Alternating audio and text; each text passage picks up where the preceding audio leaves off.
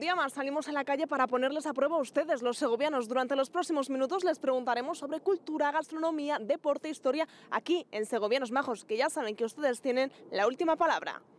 Ah, en serio, sí, sí, sí, vinieron unos chinos, eso es verdad, hacer una película. Es que eso no sé dónde está. Un cerdo, capao. No sé si será un dulce o, o qué puede ser, tampoco me suena. Pues de animal, animalejos, algo como, no despectivo, pero o diminutivo o, o algo como si dijéramos eh, cariñoso de animalejos. Hay palabras que me suenan muy familiares y no sé decirte de dónde vienen. Las he oído, ¿sabes? De pequeño, pero no sé, me suena de algún pueblo, de algo de algún pueblo, de alguna tradición, de algo. Hombre, soy de Turégano. Ah, bueno, pues entonces esta es facilísima para usted. Explícame lo que es.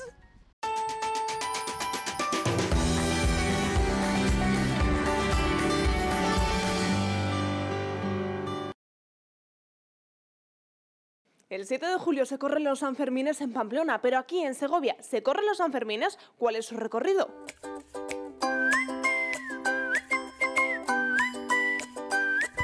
No. No. Nunca he oído hablar que se puedan correr Sanfermines no, por aquí. Es más, no soy taurino, no, no estoy de acuerdo tampoco con, con esos festejos, con los festejos taurinos. Sí, hombre, en el, en el, en el corralillo de no sé qué. Pero sí que sabe que se corren. Sí, sí, sí. A niños, con niños. Bueno, y con quien quiera correr, los Sanfermines. Eh, no. No has oído hablar nunca de que hubiese unos Sanfermines segovianos. Ah, en serio, sí, sí, sí, vinieron unos chinos, eso es verdad, hacer una película, una grabación, sí, sí, sí. Ese, en Segovia no se corren los Sanfermines. ¿Seguro? ¿Nunca, ¿Nunca lo ha escuchado que se puedan celebrar? No, yo conozco de Segovia donde dos, dos pueblos donde se corre. Uno es San García, que es uno de los más antiguos, y el de Cuellar. Pero aquí en San Lorenzo que corran los toros por ahí. No, No nunca, hablar. nunca lo he visto, la verdad. En Cuellar sí. Cuellar ¿Pero aquí en la ciudad? No. Como no sea San Lorenzo, no sé ningún sitio más. San Lorenzo o Cuellar, no, no como San Fermín, sino que se corren los toros. Carbonero.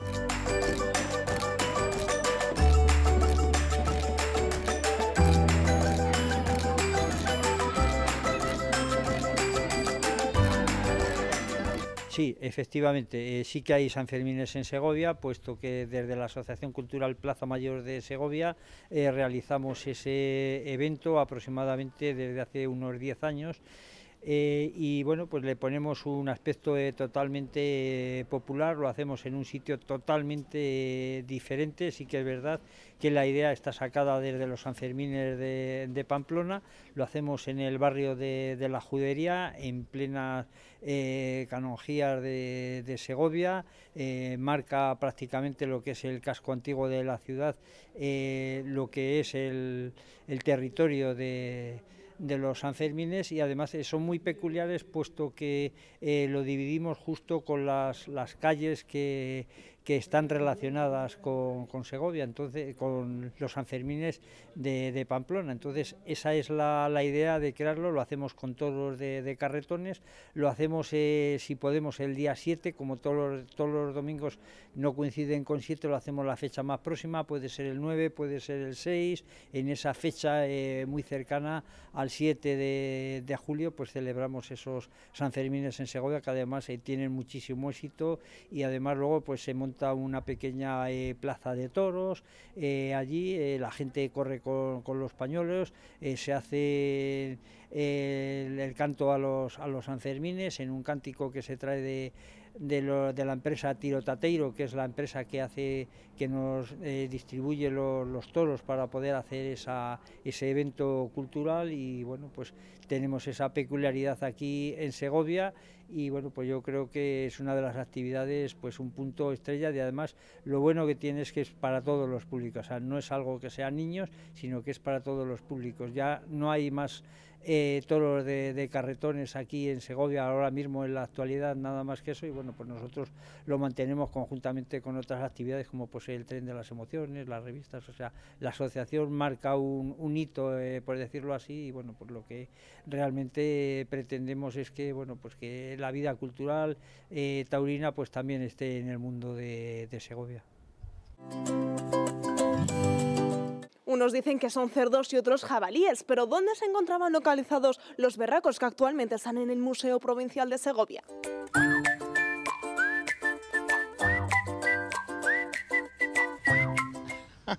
un berraco es un cerdo grande, es un berraco. Hay unos que se encuentran en el Museo Provincial de Segovia. ¿Sabría decirme dónde se ubicaban antiguamente? Pues mm, en el campo y también en algunos mm, corrales lo tenía la gente. Ay, pues no lo sé. Le he oído, pero no te puedo decir ahora qué, qué es el berraco. Sí que Lo he oído, sí. Pero, Pero no, me no, sabe no, me, decir. no tengo ni idea de lo que puede ser. Un cerdo, capao. Hay unas réplicas, hay unas estatuas de berracos en el Museo Provincial. ¿Dónde se encontraban antiguamente en la ciudad de Segovia? ¿Dónde estaban ubicadas? Eso ya sí que no lo sé. No les suena dónde podían No. estar. Eh, ¿Al pie del torreón de Lozoya? No. Un berraco, un cerdo. Vale, y si yo le digo que hay unas réplicas, unas estatuas en el Museo Provincial que antes no se encontraban allí, ¿qué ubicación tenían en la ciudad de Segovia? ¿Dónde podían encontrarse? ¿Berracos? Sí. No tengo ni idea. ¿No nos suena dónde podían estar? No tengo ni idea. Berraco. Berraco es un, un cerdo que es el macho que, que monta las hembras para la procreación. Pues yo ahora le digo que hay unas estatuas, hay unas réplicas de eso en el Museo Provincial.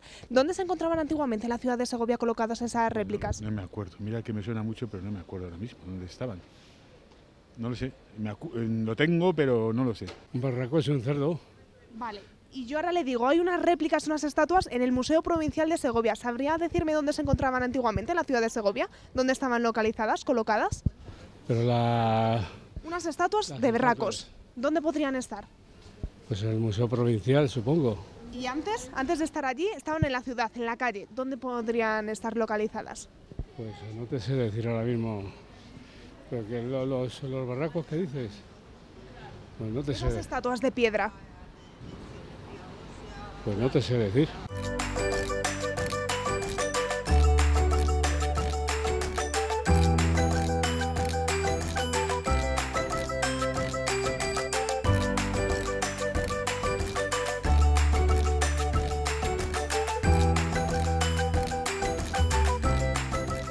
Bueno, la figura de los berracos del Museo de Segovia, un jabalí y un toro, eh, tenemos eh, documentación de ellos desde el, desde el siglo XVI, en- cuando los textos, bueno, se habla de su, de, su, de su colocación en la calle real entre el Corpus Christi y la iglesia de San Martín.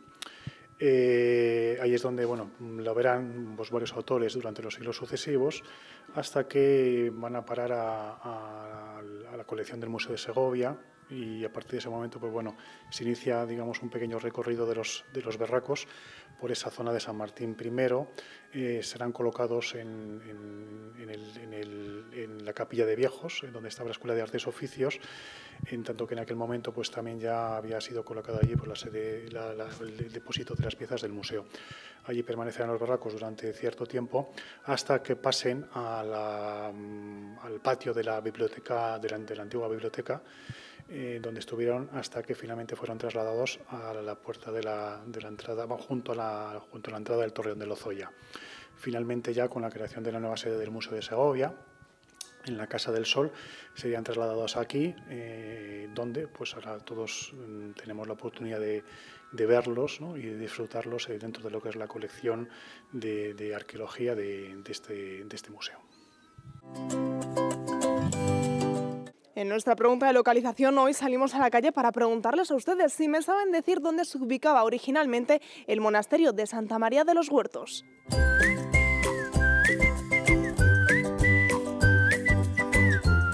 Pues era en la Plaza de los Huertos. ¿Sí que le suena a usted que había ahí el un... colegio de los Huertos, el Domingo de Soto. No el Domingo de Soto de los abogados, sino el Domingo de Soto que era el que yo iba de pequeño allí, al Domingo de Soto. Colegio de los Huertos, que se llama. Es que eso no sé dónde está. No no, sabe decir no dónde lo sé, no lo sé, cariño, no lo sé. No sé. ¿Por los huertos no le da ninguna pista? ¿Alguna plaza que se llame Los Huertos? Sí, ahí a- arriba, orilla de la plaza. ¿Y ahí no nos suena que pueda haber sé. o hubiese un monasterio? Pues no, no sé. No sé, supongo que será la Plaza de los Huertos. ¿Y su primera ubicación, la original, sabemos dónde pudo estar? Mm, No. Que se fue de esa ubicación porque vino una riada y lo inundó, Sería cerca de, se supone que por San Lorenzo, o por ahí, o por la Fuencilla, algún sitio de esos, cerca del río. Santa María de los Huertos, tampoco lo sé. no nos puede No. sonar. Su última ubicación tiene mucho que ver con ese de los huertos. Hombre, eso pues si está por Montanares o de los Huertos o por ahí, son pueblos que están aquí cerquita de Segovia, de Alfoz, pero no sé si es ese monasterio concretamente. Pues no. Santa María Real de Nieva, vamos, del- y luego Santa María del Parral ¿Y de los huertos? y de los huertos, como no sean los huertos, en el pueblo de los huertos.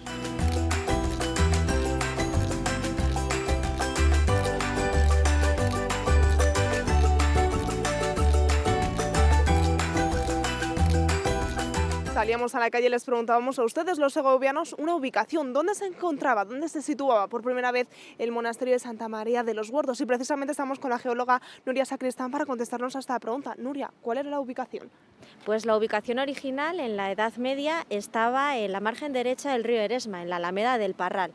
Eh, con las continuas inundaciones que sufría el monasterio cuando el río Eresma se desbordaba, hacía que los monjes incluso tuvieran que abandonarlo de vez en cuando, cuando la inundación era muy grande. Por ejemplo, en 1598 cuentan los documentos que los monjes premonstratenses tuvieron que salir incluso por la ventana. Esto hizo que en el siglo XVII las continuas inundaciones eh, obligaran a los monjes a tener que abandonar definitivamente esa ubicación y moverse primeramente a la zona de Santa Eulalia y después pedir terrenos al Concejo de Segovia para ubicarse en la zona alta. Aquí donde nos encontramos, en la Plaza de los Huertos, es donde estuvo por última vez el convento hasta que en el siglo XIX con las desamortizaciones desapareció. Pues Nuria, muchísimas gracias por sacarnos de dudas. Gracias a vosotros. Y ustedes desde hoy ya no tendrán ninguna duda sobre esta ubicación, sobre la ubicación que les estábamos preguntando. Se encargan de dar una segunda oportunidad a nuestros amigos de cuatro patas, pero ¿qué realmente animalejos?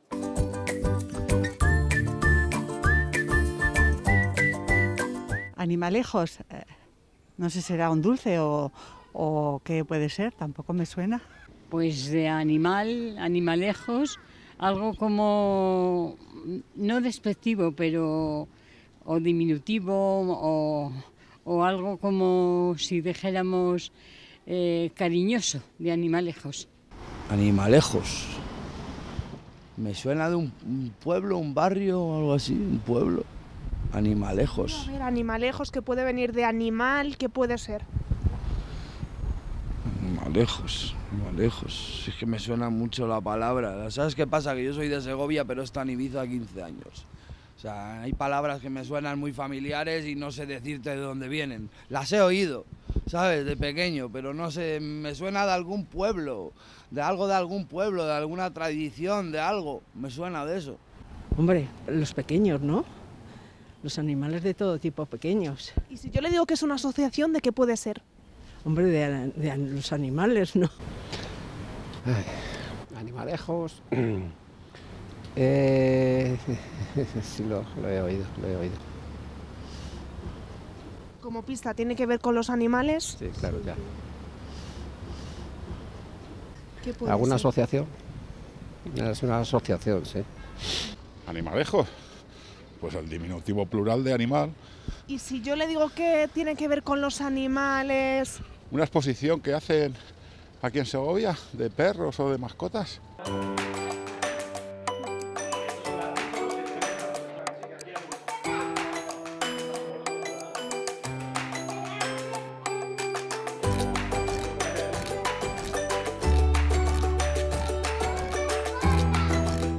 Es una de las varias protectoras de animales que hay en la, en la provincia de Segovia y la labor de todas las- de todas la que tienen todas las protectoras. Recoger animales abandonados e intentar buscarles un, un mejor futuro en un hogar y eh, concienciar y educar a, a la sociedad en el, en el amor y el respeto a los animales, sencillamente.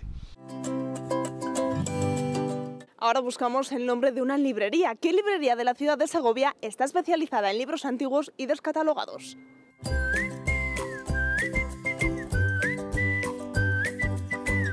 Está la librería Cervantes. Y luego en esta calle más abajo tenéis una librería, lo que pasa que no me sé el nombre. Pero vamos, hay varias librerías que venden libros de segunda mano y en la librería que han puesto en la feria este año había muchísimos libros de segunda mano. O sea, todos los años montan una feria aquí de artesanía y todo, la mayoría de los libros son de segunda mano. Pues eso en la calle Real, en la mm, Cervantes se llama, en la calle Real. Ahí encontraréis de todo. Hombre, hay una en San Francisco. Yo creo que, que esa puede ser, no lo sé. Pues en Antares me parece que venden libros de segunda mano. Pues no lo sé. Ni nos suena dónde podemos... No, no, no, no lo sé. Pues hay una librería ahí en, en San Francisco que exactamente no sé cómo se llama. Incluso yo he, he llevado libros. Que venden ese tipo de libros, ¿verdad? Sí, venden por un euro o que están descatalogados y, y que bueno, que a lo mejor no los quieres en casa y los, los, los llevas allí.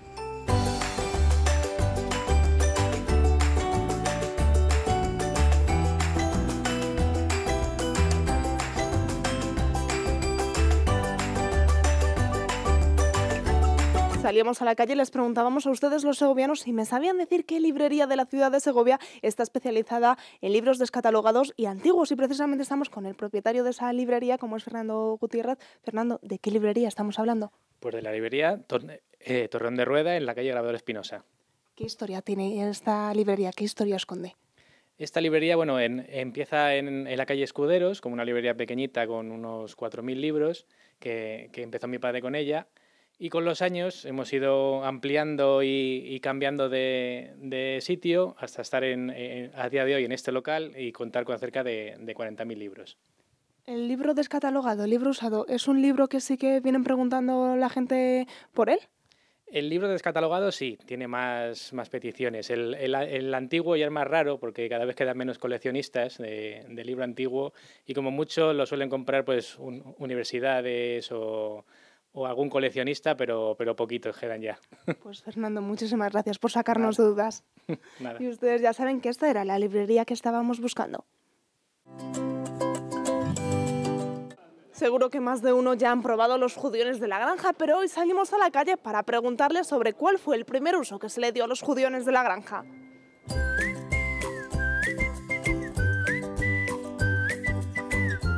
El primer uso, no sé, yo conozco tipo fabada, la fabada. Como, ¿No era para fabada. comerlo nosotros? ¿Para qué otro uso se le pudo haber dado? Pues quizá para animales, para, para cebar cerdos o, o por el estilo.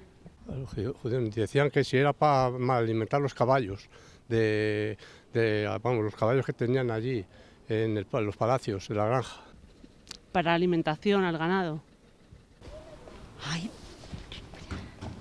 Pues sí que le sabía, pero no me acuerdo ahora mismo, fíjate, pues lo tengo yo escrito en casa.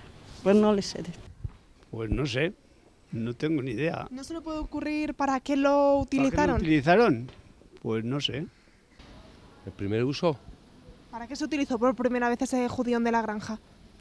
pues no tengo ni idea, no te lo puedo decir. Trabajo en la hostelería mucho, pero no te lo puedo decir.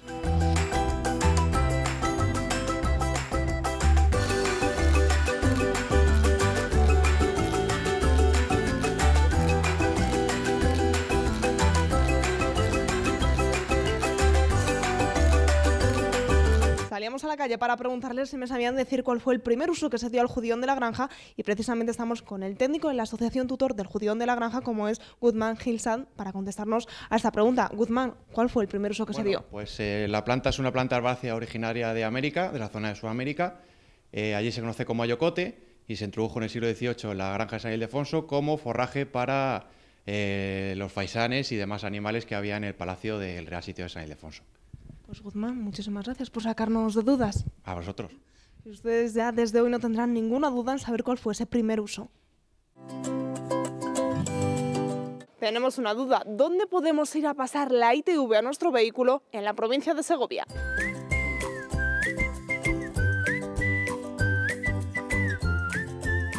En el polígono de Valverde, en una empresa que se llama Tisae. ¿Solamente en Valverde se puede pasar o hay algún otro punto, algún otro taller de la ITV? En Cuellar, pero es la misma empresa. Pues mira, en el polígono de Valverde de Majano. Yo la paso ahí. ¿Es la el único ITV. sitio? Yo creo que en el Espinar también. Mm, Me suena que sí. Pues en, la- en Valverde, ahí pone la ITV. En Segovia, yo, que sí, yo sepa, solo está eso, ese, ese sitio. Pero vamos, no. Y está bien porque te mandan cuando la tienes que pasar y todo. En Valverde. ¿Es el único taller donde se puede pasar? Eh, sí, sí, sí. La ITV en Cuellar, en, o hay en Valverde del Majano. A Valverde, de Majano. ¿Es el único taller donde podemos aquí en la provincia? Yo creo que sí. Creo que sí. O Cuellar. Cuellar también.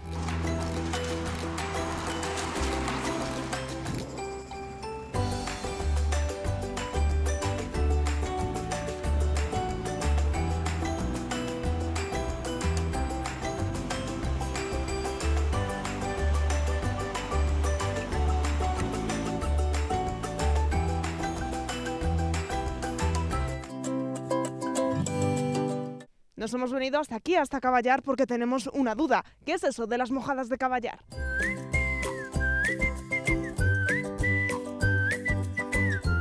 Las mojadas, sí, son los hermanos de San Frutos, que era- eran dos hermanos, San Pacacios y. Bueno, dos hermanos que eran San Frutos, que entonces, eh, vamos, tienen allí los cráneos y los mojan antiguamente para cuando no llovía y había mucha sequía, pues las metían en remojo para que lloviera. Hombre, soy de Turégano. Bueno, pues entonces esta es facilísima para usted. Explícame lo que es. Anda por las mojadas de Caballar, pues eh, que se mojan los santos cuando hay sequía. Se hace procesión, se juntan los pueblos que pertenecen a, eh, que son muñoveros, el Guijar, Turégano, no sé quién más. Y lleva cada parroquia su pendón, el día de las mojadas, el día que quedan, qué día es. Y bueno, pues eso es, se mojan los cráneos de los santos que aparecieron en la fuente de Santa de Caballar. Pues no, ahora mismo no. ¿Ni lo ha escuchado hablar? No, no lo he oído nunca. No. Ah, las mojadas de caballar, no sé si son las cabezas que meten en el, en un, eh, en el pozo y las sacan para cuando va a llover o para cuando quieren que llueva o algo de eso de, debe de ser. No, no tengo ni idea. ¿No lo hemos escuchado nunca? No. Ni idea, ¿No lo hemos escuchado nunca? nunca. ¿Algún rito, alguna tradición que tengan en Caballar? No tengo ni idea. ¿Alguna, ¿Algo de feria de ganado o algo? No ando muy despistado.